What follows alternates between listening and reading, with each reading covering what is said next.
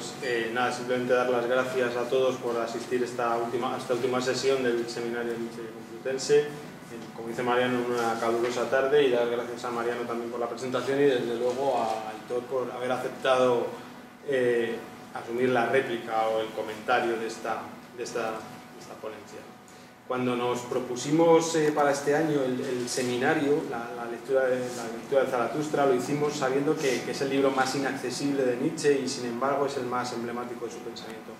La propuesta de lectura que nos hicimos y que trasladamos a los participantes de este año fue que en la medida de lo posible tratáramos de revitalizar un poco el texto del Zaratustra, es decir, que tratáramos de contrastar de alguna manera si las principales cuestiones que, que, atraviesan el texto de Nietzsche mantenían vigencia con respecto a las cuestiones que preocupan a los filósofos de la actualidad.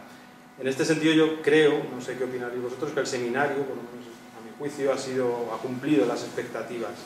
Permitidme que, que haga un muy breve repaso de lo que ha ocurrido. Más, más allá de la siempre actual, del siempre actual tema de la muerte, posiblemente el gran tema de la filosofía que nos presentó Mariano de manera apasionante en la primera sesión, allá por el mes de septiembre, al comenzar el curso, pues, eh, y del que hoy, del tema, del tema del que hoy también vamos a, vamos a hablar, porque es, es, importante para la cuestión también del, del, transhumanismo, eh, pues también vimos eh, reflejadas en las presentaciones de Tamara Sevaprol y de Víctor Berrios una de las cuestiones fundamentales de la reflexión actual, y no solo filosófica, y me refiero a la cuestión o al tema del cuerpo, del que sin, sin, lugar a dudas Nietzsche fue el principal promotor.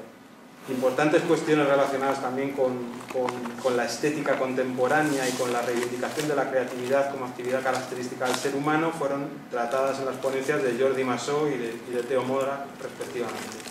Y como recordaréis, la cuestión de la animalidad, cuestión también fundamental para el problema de, de, que vamos a abordar hoy, y que sin duda ha ocupado a renombrados filósofos como Derrida o de manera más actual, por ejemplo, a Vanessa Lem, autora que vino a presentar su, último libro aquí al, en el marco del seminario, ¿no?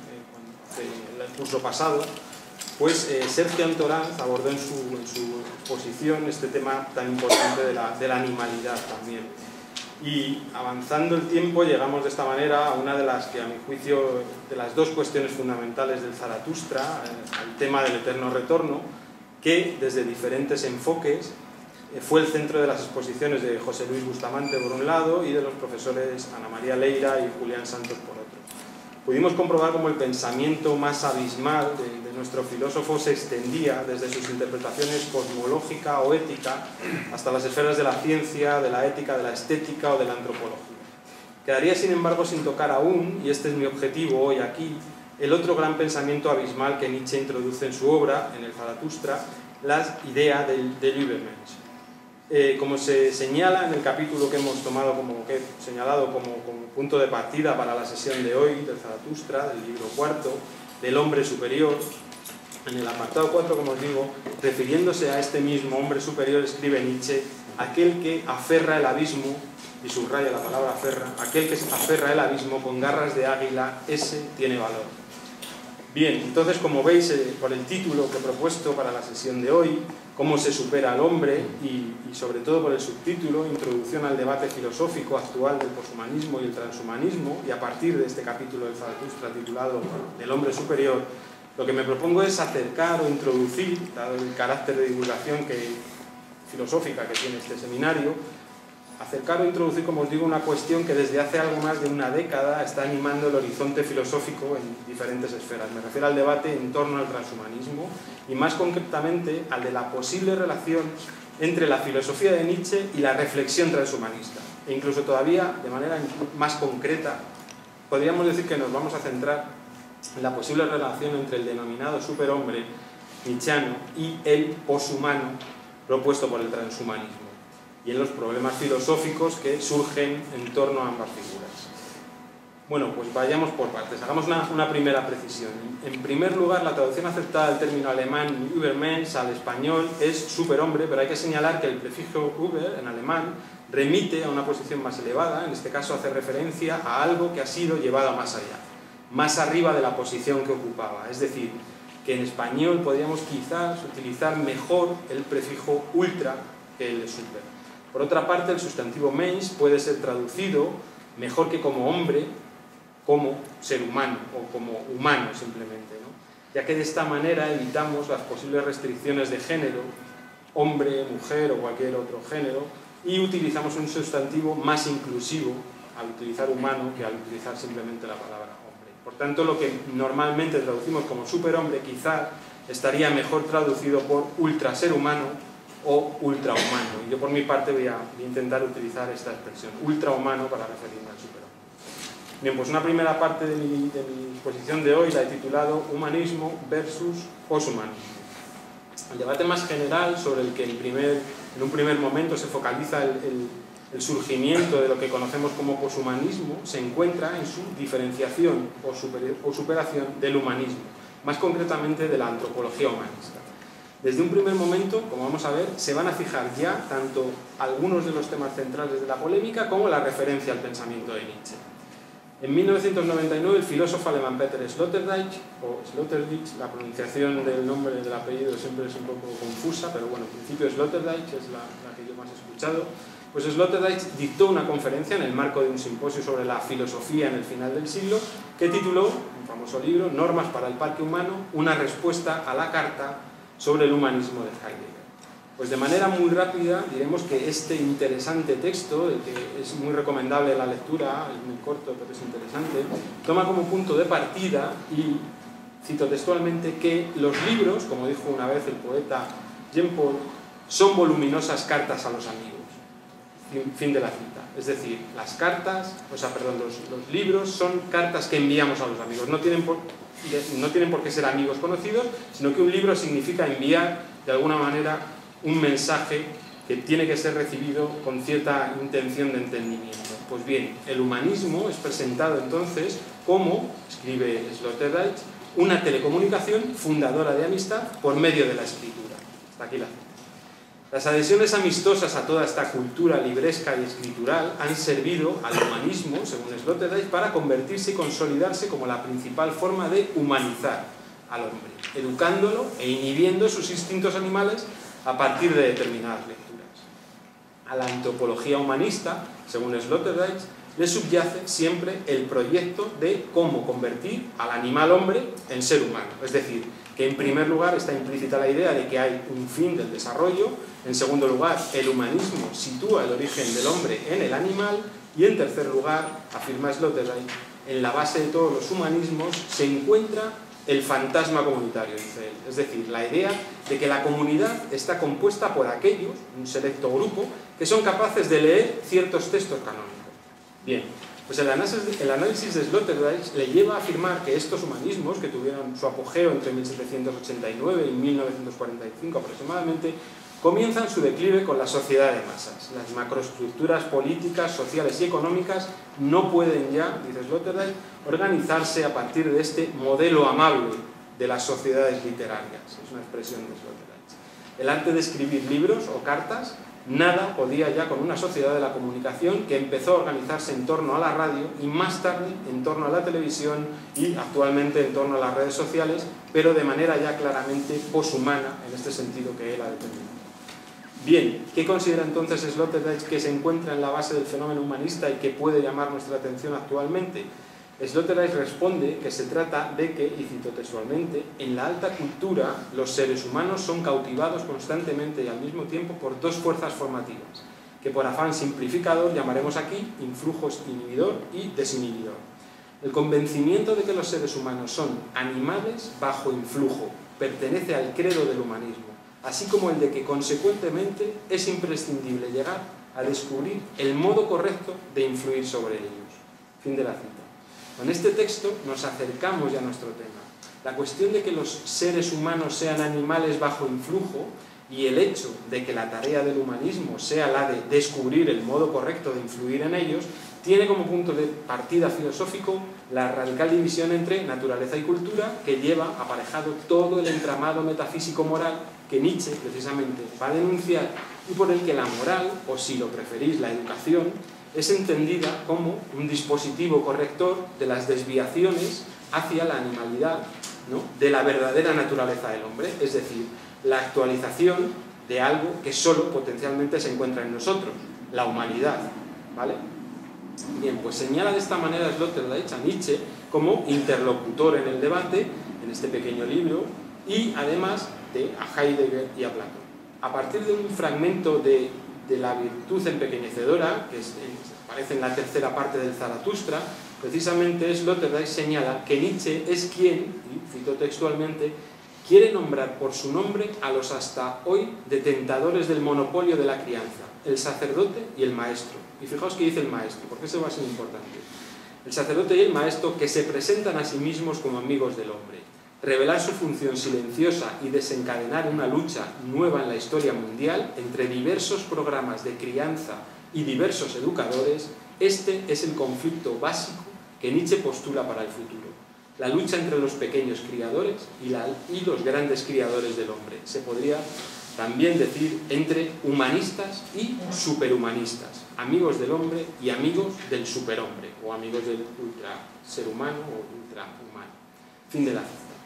Ahora bien, ante el fracaso del humanismo para educar, se abre, como señala Sloterdijk, gracias a Nietzsche, todo, cita, un, cito a Sloterdijk, todo un territorio gigantesco sobre el que deberá consumarse el destino del hombre del futuro. Aunque todo el discurso nietzscheano sobre el ultrahumano o superhombre y sobre el Zaratustra no tuviera ninguna validez, afirma, afirma Sloterdijk, sin embargo, el siguiente texto yo creo que es fundamental para entender la apertura al poshumanismo precisamente, pues sin embargo, en cuanto al discurso sobre la diferencia y el entramado de domesticación y cría, o en resumen, los indicios del ocaso de una conciencia de la producción humana, o dicho más generalmente, de las antropotécnicas, y esta es la palabra fundamental, esas técnicas para conformar humanidad, bien, pues son, continúa Sloterdijk, estos procesos de los que el pensamiento presente no puede apartar la mirada.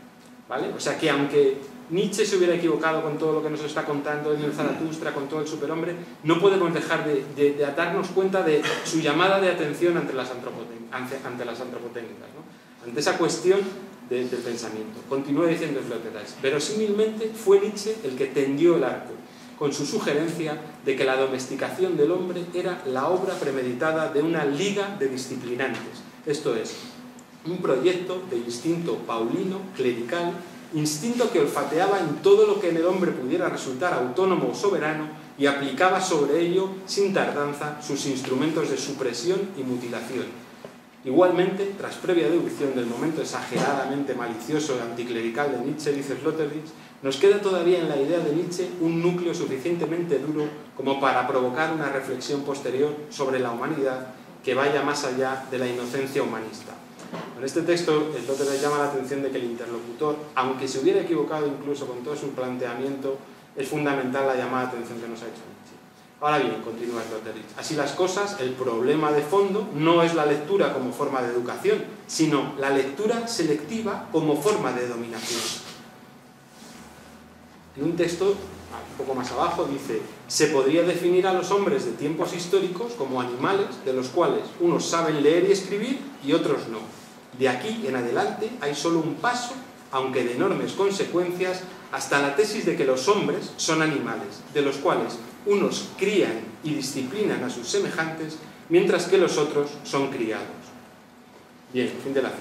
De este momento, de este modo, coherente con su demanda de no apartar la mirada ante estas cuestiones, Sloterdijk se pregunta si no habría llegado ya el momento de utilizar otros medios dentro de estas antropotécnicas, es decir, las biotecnologías, formas de, selección y como forma de convertir al, al animal humano en ser humano.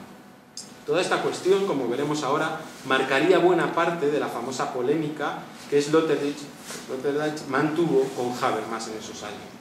Aunque, como ha señalado Stefan Lorenz Sorner, uno de los protagonistas, como vais a ver hoy, de, del tema de hoy, en realidad Sloterdijk se limitó a subrayar, dice, dice Sorner, la importancia de tratar de manera ética con cuestiones relativas a las biotecnologías. Es decir, que Habermas exageró de alguna manera, como decía, Habermas es un autor muy reactivo, siempre construye un enemigo al que poder atacar de manera eh, para, poder mostrar sus propias tesis, eso lo dice Antonio López Molina siempre, y yo creo que tiene razón. ¿no?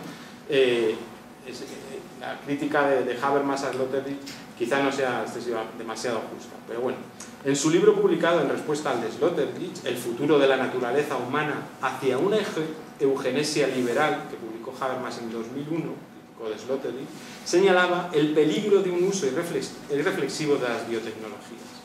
Con la expresión eugenesia liberal se quiere distinguir entre la eugenesia puesta en marcha y controlada por el Estado, la, eugenesia estatal, y la eugenesia que el propio individuo ejerce sobre sí mismo en virtud de la libertad negativa, es decir, en virtud de la ausencia de prohibiciones relativas a lo que cada uno haga con su cuerpo.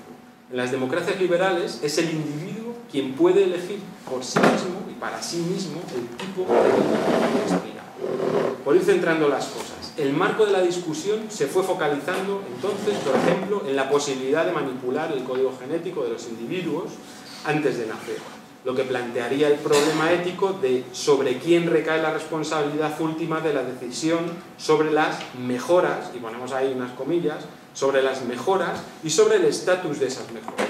Si tienen que ser solo para evitar posibles defectos físicos, eso se le llama eugenesia negativa, o si también deben servir para cambiar, para mejorar rasgos en principio asumidos como normales, pero que igualmente quieren ser modificados por los padres, únicos responsables del futuro del niño, es decir, la eugenesia positiva.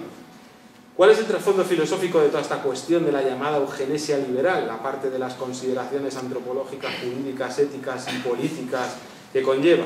Pues bien, Habermas se posicionaría en contra, ya que, como explica en su libro, con ello coartamos la libertad del futuro ser humano para elegir una vida propia. Y sin embargo, esta afirmación conduce, como veremos, a otra cuestión que ha sido utilizada por los opositores de Habermas y sus partidarios. La posibilidad de equiparar, desde cierto punto de vista, la educación clásica y la manipulación genética, en tanto que ninguna de las dos es elegida por el niño. Bueno, pues pasamos a, una segunda sección del, del texto que os envié, que se titula La generalización del debate más allá del humanismo, reflexiones en torno al trans y al poshumanismo, que es precisamente el título, esta, última parte, este, de, uno de los artículos de, de Stefan Lorenz como ahora veréis. El debate sobre el poshumanismo que abrieron Sloterdijk y Habermas marcó los primeros años de la década del siglo XXI en Alemania y se generalizó extendiéndose a otros países. Es necesario precisar que Habermas acusó a Sloterdijk de ser un transhumanista, aunque este en realidad hablaba más de poshumanismo. La distinción entre, entre estos términos, entre ambos términos, es muy compleja y se ha complicado a medida que se ha ido profundizando en el debate y que se han ido perfilando las distintas posiciones. Vamos a tratar de acercarnos un poco a cuáles son estos problemas en relación al pensamiento de Nietzsche y de su noción de superhombre. En su artículo titulado Historia del pensamiento transhumanista, publicado en la Journal of Evolution and Technology en 2005, un profesor de la Facultad de Filosofía de la Universidad de Oxford, de Oxford Bostrom, Nick Bostrom se llama, abordaba la cuestión de la historia del pensamiento transhumanista, afirmando que éste se desarrolla a partir del humanismo irracionalista, perdón, del humanismo racionalista, iniciado en el siglo XVII.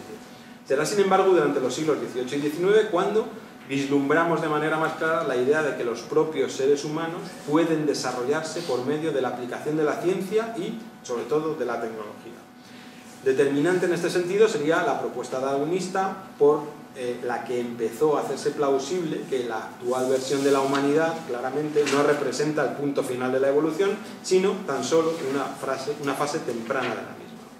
El recorrido histórico de Bostrom, en su artículo, continúa hasta llegar a Nietzsche. Y a partir del siguiente texto del prólogo de Zaratustra, Bostrom atribuye a Nietzsche una relación y una influencia superficial, y esta es la palabra importante, respecto al desarrollo de las ideas transhumanistas. Este es el, texto de Zaratustra. Todos los seres han creado hasta ahora algo por encima de sí mismos y queréis vosotros el reflujo de ese gran flujo y retroceder al animal más bien que superar al hombre. Fin de la cita. Pues a partir de este texto de Zaratustra, Bostrom concluye que lo que Nietzsche tenía en mente, sin embargo, no era la transformación tecnológica, sino una especie de enorme crecimiento personal y refinamiento cultural de los individuos excepcionales, quien él pensaba que tendría que superar el agotamiento vital de la moral del esclavo y del cristianismo. Fin de la cita. Pues bien, a partir de estas breves líneas y del juicio que a Bostrom le sugiere la relación del pensamiento de Nietzsche y del superhombre, el filósofo alemán Stefan Lorenz Sorner ha mantenido una polémica con algunos especialistas ingleses, norteamericanos y alemanes en torno a toda esta cuestión. Y a partir de ahora lo que voy a hacer, es, o voy a intentar hacer, es tratar de recoger los puntos más importantes de esta polémica particular, ya que dar cuenta de todos los matices y de todas las derivaciones del tema, que más o menos recogen unos 10 artículos, es, muy difícil ¿no? Y, y no merece la pena. Entonces voy a recoger de manera esquemática tanto las principales posiciones defendidas por Sorner, por Stefan Lorenz Sorner, como las más importantes críticas que se le han hecho por diferentes autores, sin entrar a especificar los nombres de cada uno de ellos, sino destacando la posición mantenida frente a Sorner. Para ello voy a utilizar el primer artículo de Sorner, que, eh, que se titula Nietzsche, el superhombre y el transhumanismo, en el que toma como punto de partida el artículo precisamente de Bostrom, este del que os hablaba, antes mencionado, además de las réplicas que, generadas por esta primera publicación y que fueron publicadas en la misma revista, Journal of Evolution and Technology, se hicieron a eso. Entonces, tendré en cuenta también las contrapropuestas de Sorner, que contestó precisamente a esos, a esos que le replicaron, en un segundo artículo. Ese segundo artículo se, titulaba Más allá del humanismo, reflexiones en torno al trans y al poshumanismo, que es eh, precisamente el título que le he puesto ya a esta segunda sección. Este segundo texto de Sorner generó a su vez la respuesta de tres famosos nietzscheanos, Paul Loeb, Babette Babbage y Keith Ensel Pearson, en la prestigiosa revista Diagonist, editada por el Nietzsche Circle de Nueva York en la que Sogner publicaría también ya su última intervención en un artículo titulado Zaratustra 2.0 y más allá, observaciones sobre la compleja relación entre Nietzsche y el transhumanismo. Con esto se completaría, por el momento, el abundante intercambio de ideas que ocuparía entre el año 2005 y hasta el 2011 y que de manera esquemática voy a tratar de recoger ahora. Como decía más arriba, Sogner toma como punto de partida el artículo de Bostrom sobre la historia del transhumanismo y su afirmación de que las similitudes entre Nietzsche y el transhumanismo son superficiales, para, de manera contraria, Sonder sostener que sí es posible encontrar un parecido significativo entre el poshumano y el superhombre o el ultrahumano, en un nivel mucho más fundamental de lo que Bostrom admitía. Además, en opinión de Sorner, Nietzsche, dice textualmente, explica la relevancia del superhombre refiriéndose a una dimensión que parece echarse en falta en el transhumanismo. Bien, pues, por tanto, lo que Sorner va a tratar de hacer en sus artículos es mostrar cómo las características con las que Bostrom describe el transhumanismo y a partir de las cuales se explica el concepto de poshumano dentro del transhumanismo se encuentran también en el pensamiento de Nietzsche. Para ello, Sorner se centra en muchos aspectos del problema y de los que a continuación solo voy a recoger unos pocos. El primer, el primer nivel de coincidencia se da, a juicio de Sorner, en el plano de la comprensión dinámica por parte de ambos, del transhumanismo y de Nietzsche, de la naturaleza humana. Dice textualmente Sorner, tanto los transhumanistas como Nietzsche sostienen una perspectiva dinámica de la naturaleza y de los valores. Fin de la cita.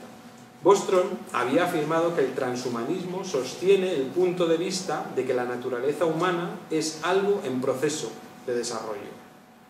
A juicio de Sorne, la noción dinámica de la voluntad de poder que Nietzsche aplica al ser humano y a los demás seres implica que todas las cosas están en permanente proceso de cambio, en constante devenir. El telón de fondo del debate lo establece la comprensión general y la explicación de los mecanismos de la evolución y la cuestión de fondo se relaciona directamente con la pregunta de cómo es posible explicar la tensión entre la existencia de especies, de diferentes especies, que reúnen a sus miembros en torno a unas características y unas capacidades, y por otro lado, el cambio de una especie, en principio constante. ¿Cómo puede evolucionar una, especie si en principio es una idea fija? Si tenemos la idea del león, pues cómo pueden ir cambiando los diferentes leones evolucionando y aún, así mantenemos la idea de la especie. Bueno, pues para dar lugar a nuevas capacidades, es decir, para evolucionar. ¿Cómo, cómo se evoluciona? Bueno, pues una de las críticas que se le hace a Sorner es precisamente que el superhombre no puede ser entendido en este sentido como un paso evolutivo a partir del hombre. Sin embargo, Sorner, para sostener lo contrario, nos remite precisamente a un pasaje del Zaratustra, eh, en el que en el libro primero, en el, en el último capítulo, donde podemos leer y el gran mediodía es la hora en que el hombre se encuentra a mitad de camino entre el animal, perdón, a mitad de camino entre el animal y el superhombre. Y hay otro fragmento en el prólogo en el apartado cuarto, como veíamos antes, en el que también se dice el hombre es una cuerda tendida entre el animal y el superhombre, una cuerda sobre un árbol. Pues bien, a este tipo de ideas, en general, recurre Sorner para afirmar que Nietzsche es un evolucionista convencido y que sus discrepancias con Darwin deben ser entendidas en el nivel de los mecanismos de la evolución y de los principios que empujan a los organismos a evolucionar, pero no, ciertamente, como una enmienda a la totalidad del proceso evolutivo. De hecho, el principal desacuerdo de Nietzsche con Darwin era la suposición de que el objetivo fundamental de los seres vivos es la lucha por la supervivencia. Según Nietzsche, el mundo es voluntad de poder y por tanto la meta fundamental de los seres humanos es el incremento de poder y no la conservación. Esto nos lleva al segundo gran tema que me gustaría destacar ahora y que antes, al hablar de la polémica entre Sloterdijk y Habermas, había quedado parcialmente anunciado. ¿Qué mecanismos entonces, a juicio de Nietzsche, son los que llevarían al superhombre? Sorner no tiene la menor duda. Para Nietzsche, la forma de alcanzar esto es una educación que promueva la autosuperación. Sin embargo, como decíamos antes, el transhumanismo está a favor de las tecnologías y de otros medios que podrían usarse para mejorar las capacidades intelectuales, físicas y emocionales humanas. Y la polémica surgía principalmente en torno al uso de las tecnologías y más concretamente de las biotecnologías que permitan una manipulación genética que altere o mejore, decíamos antes, las capacidades. Se plantea así el caso de la equiparación entre la educación, por un lado, y la manipulación genética, por otra, por parte de los padres, por otra parte. Es posible equiparar esos dos niveles, como hace De alguna manera, ya Habermas se había posicionado considerando inmoral esta última, la manipulación genética, por considerar que se trataba de un procedimiento, primero, irreversible, en el que el principal afectado, además, no puede pronunciarse a favor o en contra, sin embargo, aunque Sorner no, va a poder demostrar que, Nietzsche estuviera de acuerdo con algo así como la manipulación genética, ni a favor ni en contra, tampoco, claro, sí que puede mostrar al menos cierta debilidad de los criterios a partir de los que Habermas y los que piensan como él tratan de argumentar su posición. Vamos a verlo.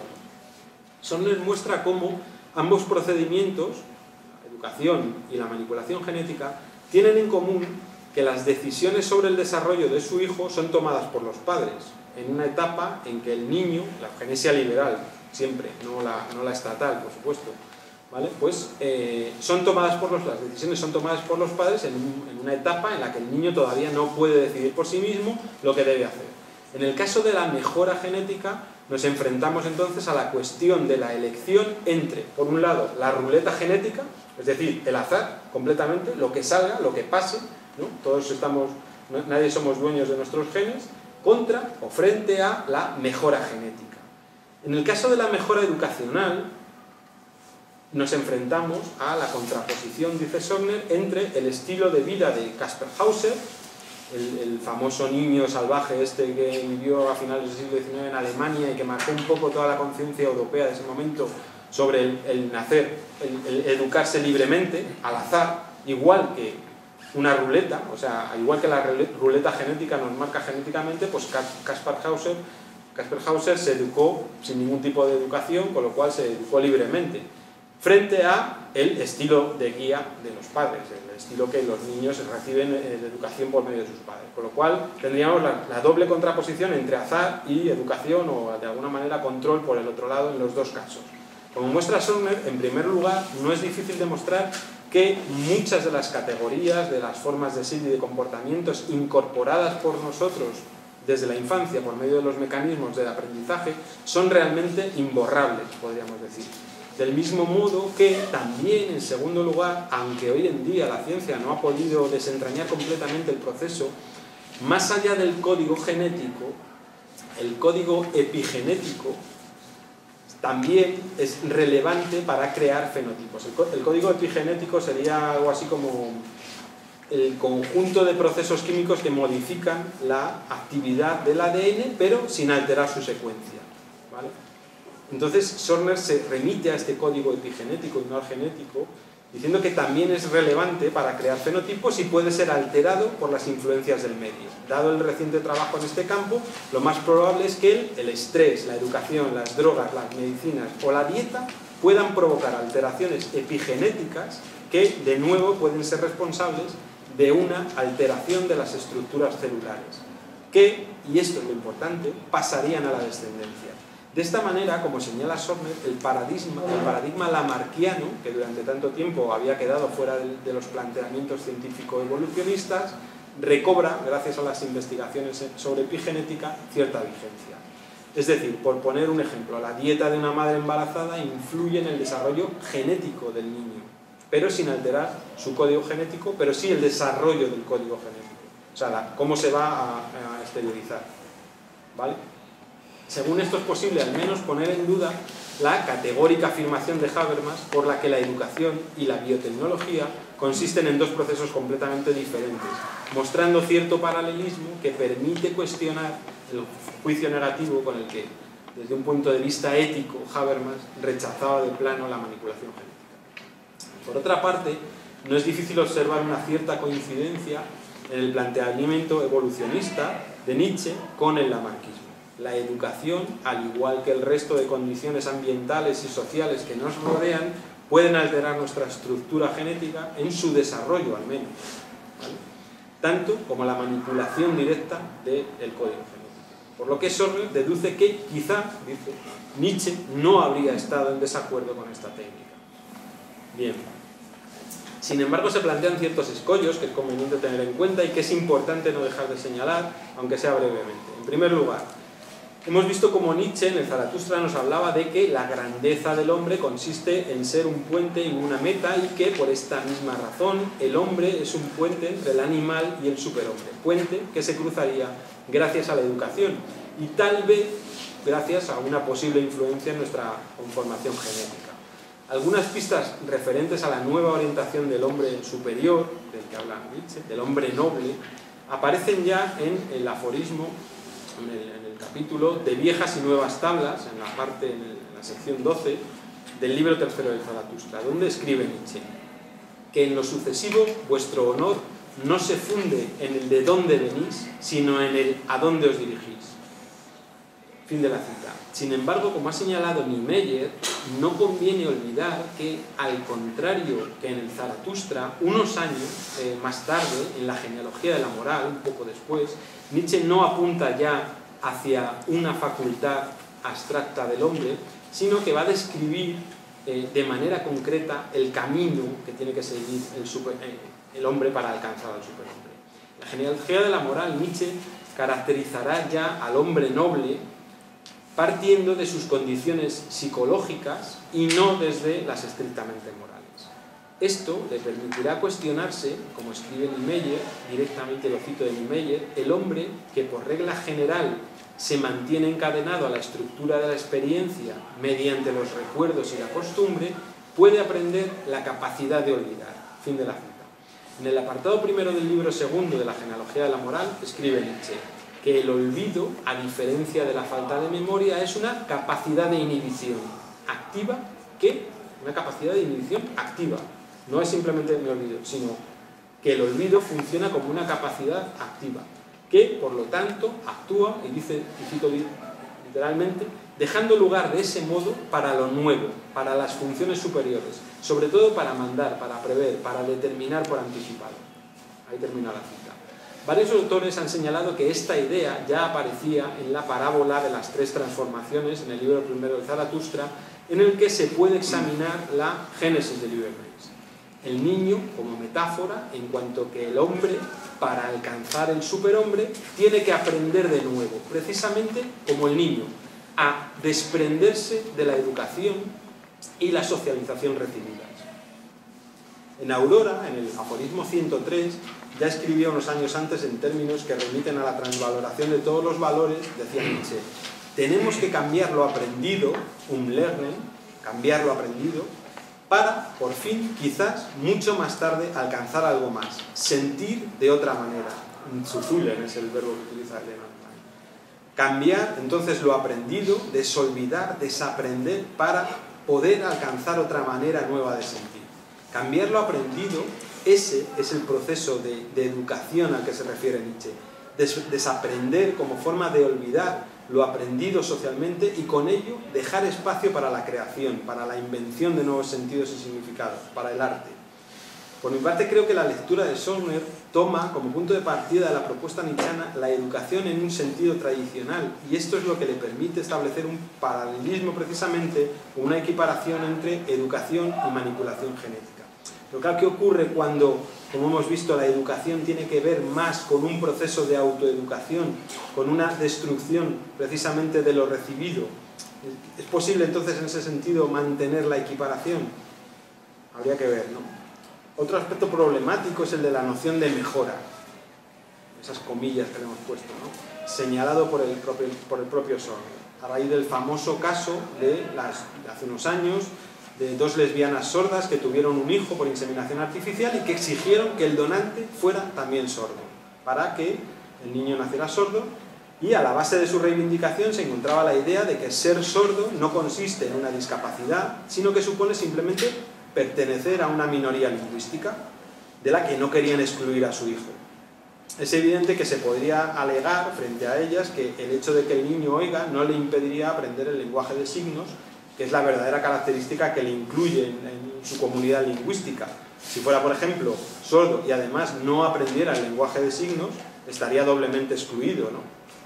En fin, el problema que subyace a todo esto, a mi juicio, es la complicada delimitación de las nociones de mejor o peor, o de capacidad y discapacidad, o de normal y anormal, en función de criterios sociales y médicos de estandarización y normalización, ¿vale? como ha denunciado, ejemplo, Foucault.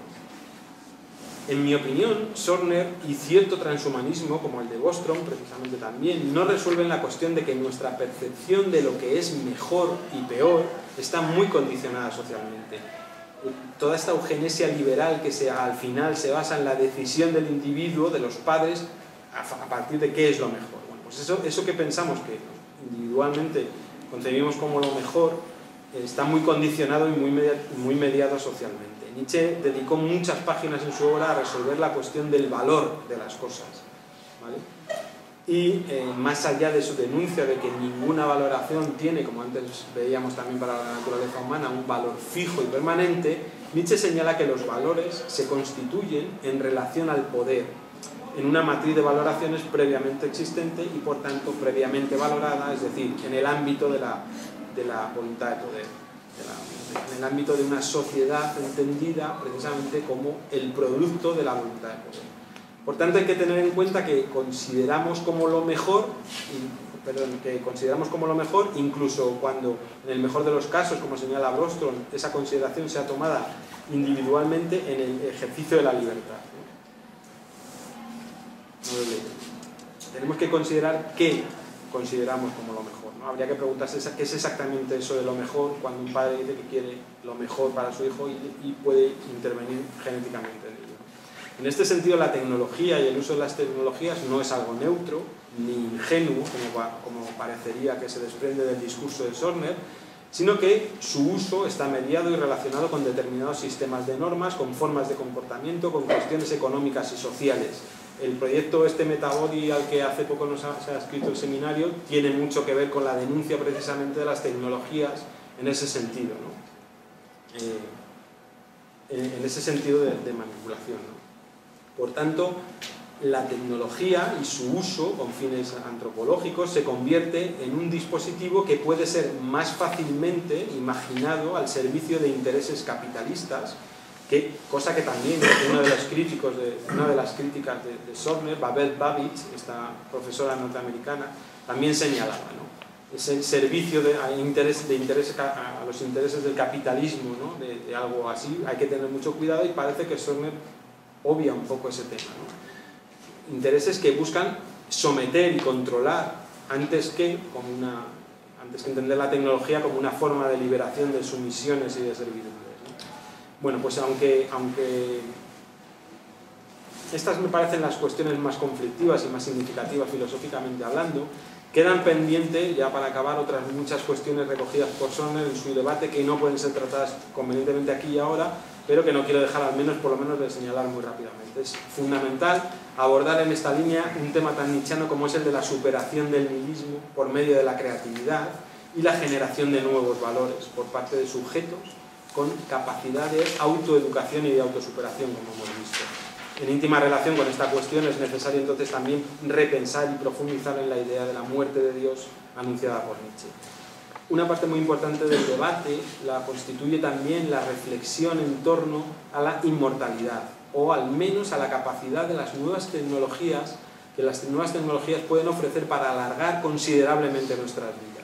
Desde un punto de vista filosófico, Nietzsche se convierte en tanto que uno de los grandes críticos de la, vida, entendida como conservación, en un punto de referencia fundamental para profundizar en esta crítica que se le hace al transhumanismo, precisamente porque está excesivamente focalizada en esta cuestión, en esta cuestión de alargar la, la vida, ¿no? de prolongar la vida. Si desde el punto de vista de Nietzsche la vida es básicamente superación y no conservación, entonces parece que la prolongación estrictamente de la vida, en, términos estrictamente biológicos, no le preocuparía excesivamente. Sin embargo, como señala Sorner, la conservación del organismo es la condición de posibilidad de que éste llegue a superarse. Claro, si no hay conservación del, organismo, no hay posibilidad alguna tampoco de superación. Entonces, en este sentido, la conservación es importante. En este sentido, entonces, se establece un, yo creo, muy interesante debate entre el frágil equilibrio entre la conservación y la superación, y yo creo, en el que yo creo que se mueve Nietzsche constantemente, y el papel que ambas tienen para la vida. En conclusión, y ya para terminar, más allá de discrepancias puntuales en determinados aspectos de su interpretación de Nietzsche, creo que Sorner, Stefan Lorenz Sorner, ha tenido un gran acierto al introducir un pensamiento como el de Nietzsche en la reflexión en torno al transhumanismo ya que como he tratado de mostrar en esta sesión y como los propios artículos de Sorner muestran, hay una gran cantidad de temas al hilo de esta cuestión que son susceptibles de ser discutidos en la actualidad desde la óptica nietzscheana. Y por mi parte nada más. Gracias.